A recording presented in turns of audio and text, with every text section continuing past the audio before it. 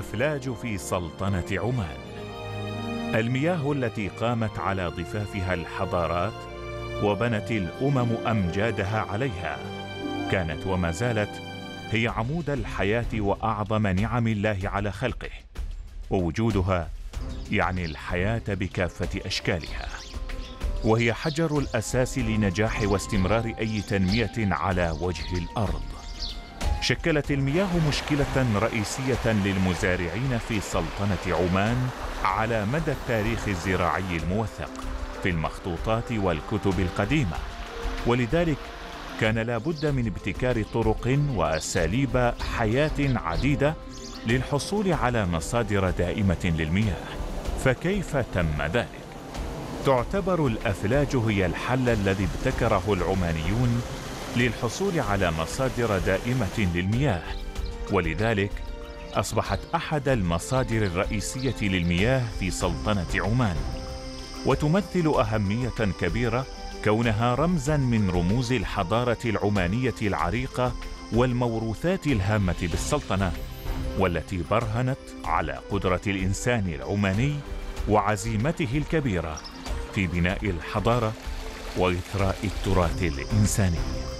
وقد اختلف المؤرخون في تحديد التاريخ الحقيقي لشق الأفلاج في عمان نظرا لعدم وجود وثائق تاريخية مؤكدة تثبت ذلك إلا أنها تعتبر نسيجا عمانيا اصيلا منذ القدم حيث قامت عليه الحضارة وكانت ولا زالت حياة الإنسان العماني مرتبطة به إلى اليوم.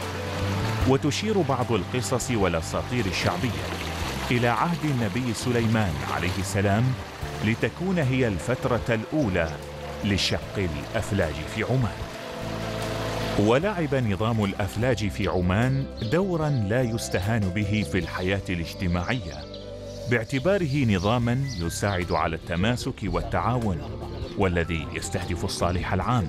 وقد كان له الدور الكبير في غرس أخلاقيات التعاون والعدل والشفافية والتداخل الاجتماعي من خلال الممارسات العديدة التي تخص نظام الأفلاج. وقد وضع العمانيون الأسس الكفيلة للحفاظ على هذا النظام.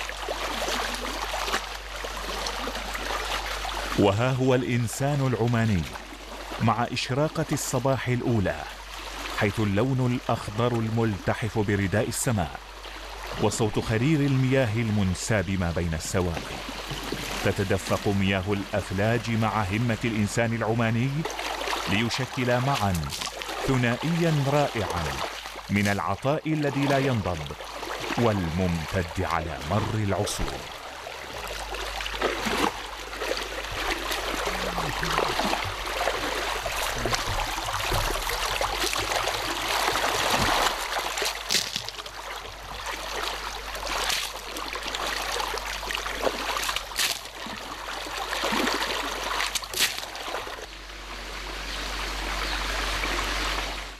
تعد الأفلاج نموذجا متفردا في تقديم نظام آه، ذا كفاءة عالية في إدارة الموارد المائية.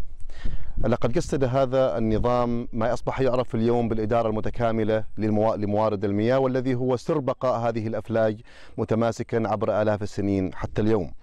اهتم النظام الأفلاج بإدارة الموارد المائية كما ونوعا. فمن الناحية الكمية آه، يعتمد توزيع الحصص المائية في نظام الأفلاج آه، على اعتبار نوع التربة هناك خشن وهناك تربة آه، ناعمة.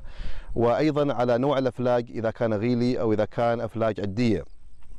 التربة الخشنة تتميز بمعدلات رش عالية أما التربة الطينية فبمعدلات رش منخفضة ولذلك معدلات الري تحتاج إلى فترات أطول آه، في التربة الناعمة. أما أما من ناحية أنواع الأفلاج فتعتبر الأفلاج الغيلية أكثر تأثرا بفترات الجفاف. منذ أن وضع العمانيون نظاما قائما للأفلاج وأيضا طرق الاستفادة من حصة المياه لكل المزارعين وهم يقيسون المواقيت بدقة عالية تثير التساؤل التالي كيف استطاعوا أن يحددوا المواقيت وبأي وسيلة كان يتم ذلك؟ قام العمانيون بابتكار نظام يساعدهم على تقسيم مياه الأفلاج فيما بينهم حيث يتم توزيع المياه في معظم الأفلاج على أساس الوقت الذي يتم تقسيمه على وحدات زمنية تنحصر بين الأثر وهو ما يعادل نصف ساعة والربع وهو ما يعادل ثلاث ساعات والبادة وهي تساوي 12 ساعة أو 24 أثرا. وقد كانت في الماضي توجد ساعة شمسية يتم بموجبها تحديد التوقيت الخاص بكل دورة أثناء النهار. ويمتلك كل مزارع قسما خاصا من الماء تحدده مساحة مزرعته ونسبة مساهمته في بناء الفلج وتختلف أحجام الأفلاج في عمان من فلج صغير قد تمتلكه عائلة واحدة إلى فلج كبير يمتلكه المئات من الناس. ويوجد في كل فلج من الأفلاج حصص من الماء تؤجر دوريا من أجل صيانة الفلج وخدمة المجتمع.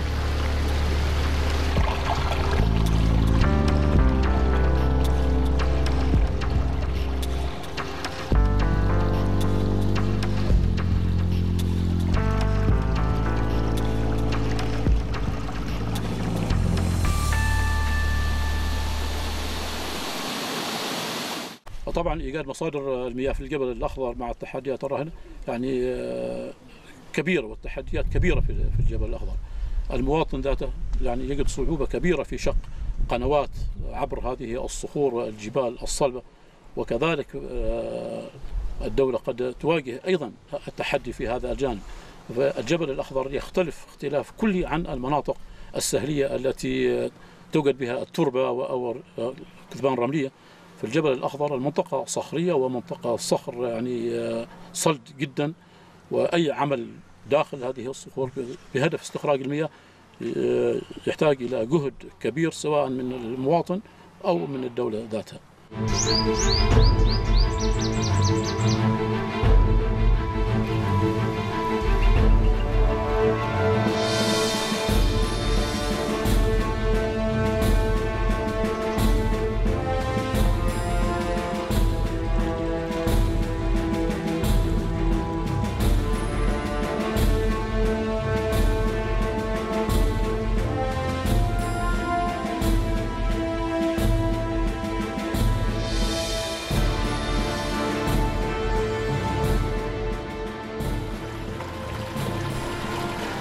بالرغم من تشابه معظم الأفلاج في بعض الصفات إلا أنه هنالك اختلاف من حيث الاتساع والعمق ونوعية المياه المتدفقة ومحتوياتها وطبيعة الأرض التي تسير عليها وفيها. كيف تعتمد هذه الأفلاج على أصحاب الأفلاج؟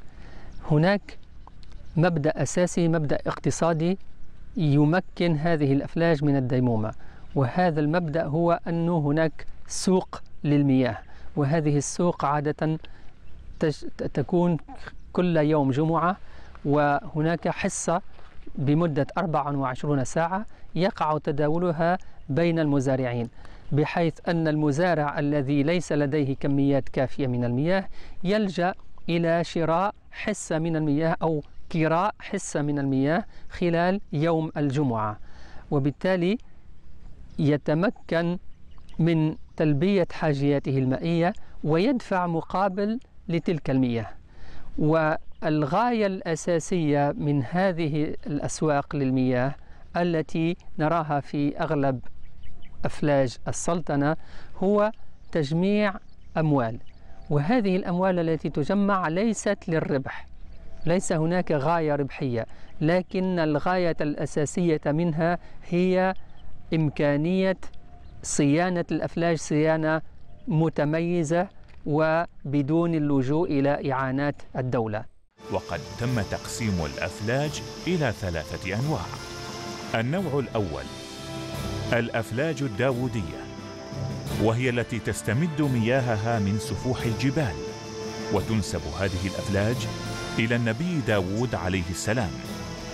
حيث يتميز هذا النوع بثبات مستوى تدفقه إلى حد كبير ويتراوح عرض قناته من متر إلى مترين وارتفاعها من متر إلى مترين وأقصى عمق لها قد يصل إلى خمسين مترا تحت سطح الأرض مثل فلج دارس بولاية نزوة وفلج الملكي بولاية إسكي.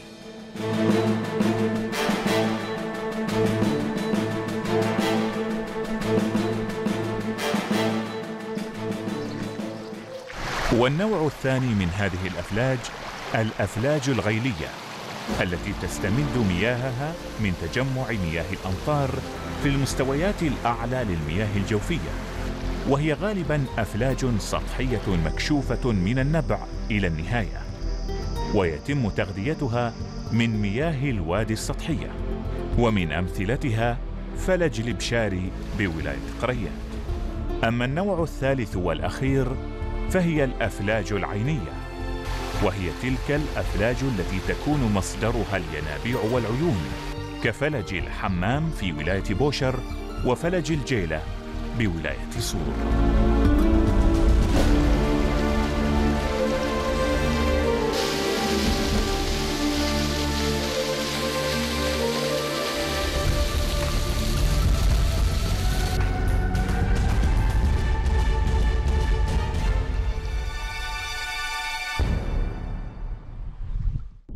وتقوم وزارة البلديات الإقليمية وموارد المياه بدور بارز وهام للحفاظ على هذه الأفلاج من خلال الصيانة المستمرة لها.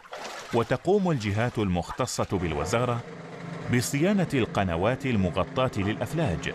وفيها يتم إعادة بناء هذه النوعية من القنوات في نفس المسار السابق أو بتحويلة جديدة بمحاذاة القناة القديمة وبمقاطع تتناسب مع كمية المياه المتدفقة من قنوات الأفلاج أما بالنسبة لصيانة القنوات المفتوحة فيتم أيضا بإعادة بناء القنوات في نفس المسار أو تحويل المسار بمحاذاة القناة القديمة. أما صيانة الفرض أو ما تعرف بفتحات التهوية والتنظيف فيتم عن طريق إزالتها حتى الوصول إلى الأرض الجبلية الصالحة للتأسيس. ومن ثم يتم بناؤها بأعلى من مستوى الأرض الطبيعية المجاورة وقد تكون تحت مستوى الأرض في مجال الأودية كما تقوم الوزارة ببناء أحواض التجمع أو ما يعرف بالجابية أو الجل أو اللجل عند نهاية القنوات بالقرب من الأراضي الزراعية. ونظرا لقلة هطول الأمطار والتطور الاجتماعي والاقتصادي والحاجة الملحة والكبيرة إلى الماء كان لزاما البحث عن بدائل تساعد الأفلاج في الحفاظ على مياهها. فبرز البحث عن المياه في الأعماق البعيدة حيث المخزونات الجوفية ذات الإنتاجية العالية عن طريق حفر الآبار المساعدة. ولم تكن هذه الفكرة وليدة الحاضر بل كانت موجودة في السابق ممثلة في الآبار المفتوحة الجماعية والتي كانت تستخدم أيضا لري النخيل أوقات الجفاف.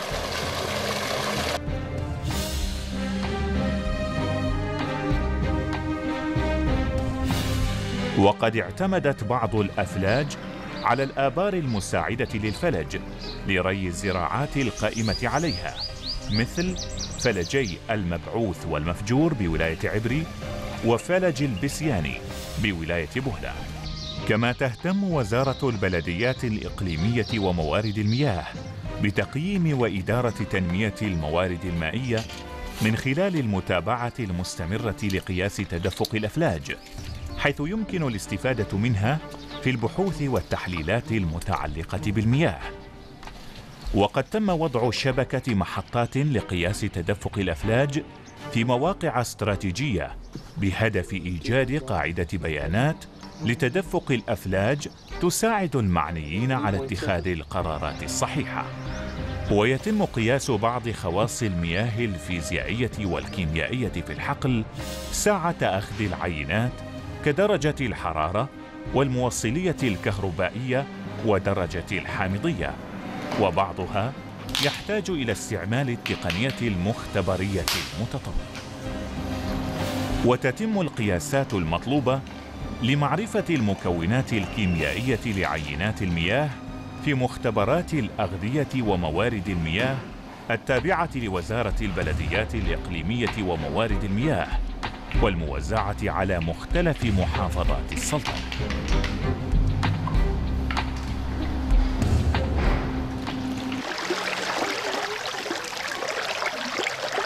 ونظرا للتاريخ العريق لأفلاج السلطنة وتعبيرا عن المكانة الدولية لهذا النظام المائي الفريد فقد اقرت لجنة التراث العالمي التابعة لمنظمة التربية والعلوم والثقافة اليونسكو في اجتماعها الثلاثين المنعقد في ليتوانيا من عام 2006 للميلاد.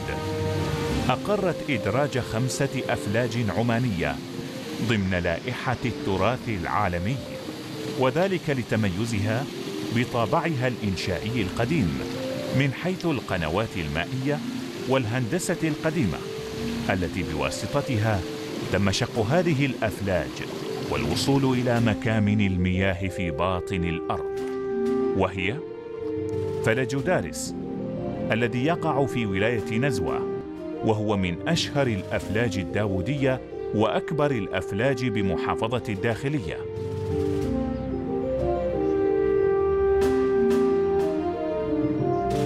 والفلج الثاني فلج الخطمين الذي يقع في بركة الموز بولاية نزوة.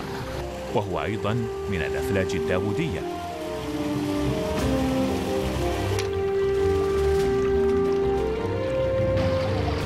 وأهم الأودية المغذية للفلج هو وادي المعيدن الذي ينبع من سفح الجبل الأخضر. كما تمر مياه الفلج بداخل أسوار حصن رديدة والذي يعتبر من أهم المعالم التاريخية والأثرية في بركة الموز.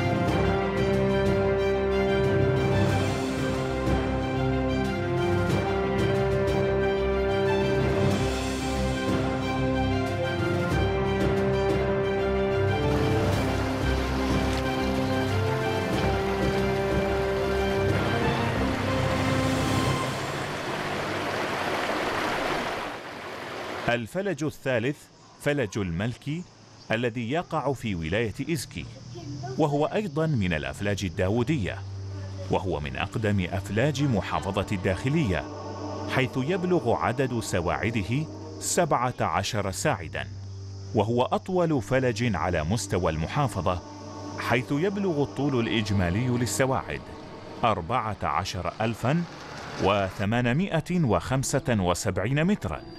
الفلج الرابع فلج الميسر الذي يقع بولاية الرستاق في محافظة جنوب الباطنة. ويعتبر هذا الفلج من الأفلاج الداوودية العميقة حيث يصل عمقه إلى خمسين مترا تحت مستوى سطح الأرض. ويمتاز هذا الفلج بنقاوته البالغة.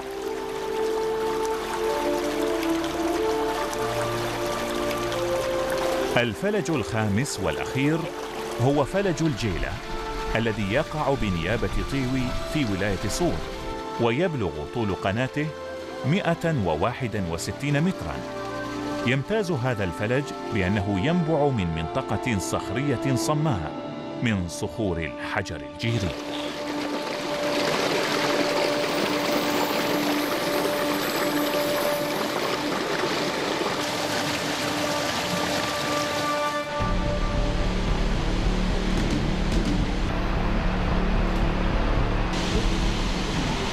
الأفلاج عبارة عن نظام هندسي متكامل ليس فقط في مجال القناة التي تجري فيها المياه ولكن استخراج المياه من باطن الأرض بدون استخدام طاقة بالجاذبية الأرضية. وهذا النظام آه، يعتبر فريد من نوعه يجب المحافظة عليه. فالآن أكثر ما ما يقلق آه، المهندسين هو الطاقة المستخدمة في نقل المياه. وهي التي تستهلك كثير من الأموال والصيانة وغيرها. وبالتالي أن النظام الفريد وهو نظام الأفلاج المستخدم في سلطنة عمان لا يستخدم أي طاقة وبالتالي هنا تأتي العبقرية التي أنشئت بها هذه الأفلاج واستدامت على مدى العصور والسنوات والحضارات آه، القديمة والحاضرة وإن شاء الله ستدوم في المستقبل إذا تم استغلالها بالاستغلال الصحيح وأيضا المحافظة على هذه الأفلاج وتدريب النشء والشباب على دراسة هذه الأفلاج والاستفادة منها. يبقى للإنسان العماني الدور الأكبر في الاهتمام والمحافظة والمشاركة الفاعلة للحفاظ على هذه الثروة المائية حيث الأفلاج من المفردات الحياتية العمانية الجميلة. التي لها دورها الكبير في التنمية والدعم الأساسي للعديد من القطاعات التنموية المختلفة في البلاد.